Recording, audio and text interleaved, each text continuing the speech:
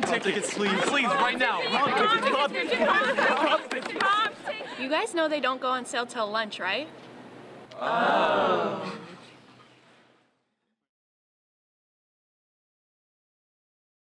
Hello, Brownsburg High School. Thanks for watching BHS TV. Today is Wednesday, April 27th. I'm Molly Kiefer. And I'm Annabelle Freeman, and here's what's going on at BHS. The BHS TV staff would like to say a big thank you to all of our administrative assistants at BHS in honor of Administrative Professional Day today. If you see any of these people, be sure to tell them thanks for all their hard work. Angie Boyer, Jen Branch, Angie Clary, Rosa Cruz, Jane Dennis, Sydney Dowell, Adriana Patino, Karen Pond, Sydney Schaefer, Jamie Toole, Deb Bayette, and Jolene Willis. We hope you have a great day today. In honor of Teacher Appreciation Week next week, BHS TV wants to give you the chance to shout out some of your favorite teachers. Just look for our BHS TV cam during lunch and let us know which teachers you appreciate and why, and we might use your clip next week. You can also give some shout outs on social media. Just follow Brownsburg.tv on Instagram and check our stories for a chance to reply with what teachers you appreciate. Teacher Appreciation Week is May 2nd through May 6th. Prom court voting is now open and will continue through Friday, April 29th. Voting is for juniors and seniors only, and there's a link posted on the BHS Class of 2023 Instagram page. You can also scan this QR code on the screen or the ones hung in the Senior Academy. Congratulations to next year's Chainlink Executive Board and Spirit Coordinators who will be led by President Comfort Apafola. Board members are Claire Dewicki, Sophie Danielson, Michelle Akin Tumede, Georgia Gordon, Baloo Awalabi, and Sydney Price. And next year's Spirit Coordinators are Josiel Rodriguez, Sydney Parpart, Kennedy Uren, Darrell Rice, Carson Knox, and Kavarian Taylor. Prom 2022, A Midsummer's Garden, is on Saturday, May 7th at the Indiana Roof Ballroom. Tickets are $50 and will go on sale for seniors today, Wednesday, April 27th, in the Senior Academy during all lunches and will be sold there through May 6th. Tickets for juniors will begin on Monday, May 2nd, in the main building during all lunches. For any Area 31 students who will be leaving before lunch, ticket sales will be in Mrs. Stablehouse's room starting Thursday, April 28th. Do you wish there was a place where you could have fun, be yourself, and talk about real life? Young Life will be having club tomorrow, Thursday, April 28th at 7:37 p.m. at East Middle School. Enter door 5. So grab a friend and come join the party. All are welcome. Follow Young Life on Instagram at BrownsburgYL for details and updates or see Miss Paul in room A2 416. Team 2022. BHS TV wants to help celebrate your future plan in this year's Bye Bye Bulldogs video. Thursday, April 28th and Friday, April 29th during lunch in the Senior Academy, make sure you wear your plan. Clothing that represents your future school, branch of service, or job. BHS TV will have a camera set up to record a 10 second clip of seniors announcing their plans. Cue cards will be provided and it will be easy to participate. The video will be edited together and share it with seniors as a memento for your class. All seniors have to do is wear their plan April 28th and 29th and listen to for the announcement with your instructions at the beginning of your lunch. The philosophy group's next meeting will be on Tuesday, May 3rd after school. They will meet in Mr. Sloan's room B1409 and will be discussing human rights. Please see Mr. Sloan for more information. If you're looking for a distraction-free environment to do homework, grab a donut, or get help in a difficult subject before school, Student Seeking Success is a new Brownsburg student organization sponsored by Ms. Cook that hosts study hall before school on Monday, Wednesday, and Friday every week. They also host socials, which are lesson-based conversations on varying professional topics like creating your resumes, finding internships, and scholarship opportunities. If you would like to participate in this supportive academic community, Join the reminder by texting at BHSSS to 81010. That's BH, then four S's. How much do you know about spring? Not very much. Figures. Well, Oliver Curtis and his big brain is here to teach us. It's springtime again, just like every year. But does anyone know actually anything about it? Here's some trivia questions to make sure. What is the word for spring in Latin? A. Sancte. B. Spiritus. C. Infernus or D, Vernal? B, Spiritus. Yeah, I'm gonna go B. Let's go with C. Vernal.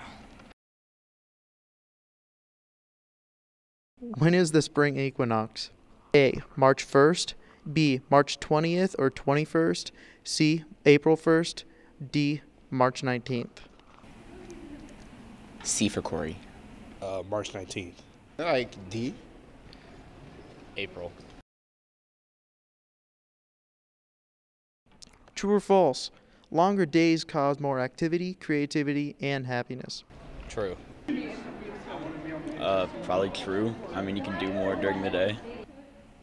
True. Uh, false. True or false? Cinco de Mayo is the Independence Day of Mexico. True. True. Um, that sounds false. False. False. Well, hey, now you guys know a little more about spring. Oliver Curtis, BHS TV. Wow, I can't even believe those facts. Well, you should. They're facts. Now it's time for sports. Hey Kylie, what do you have for us today?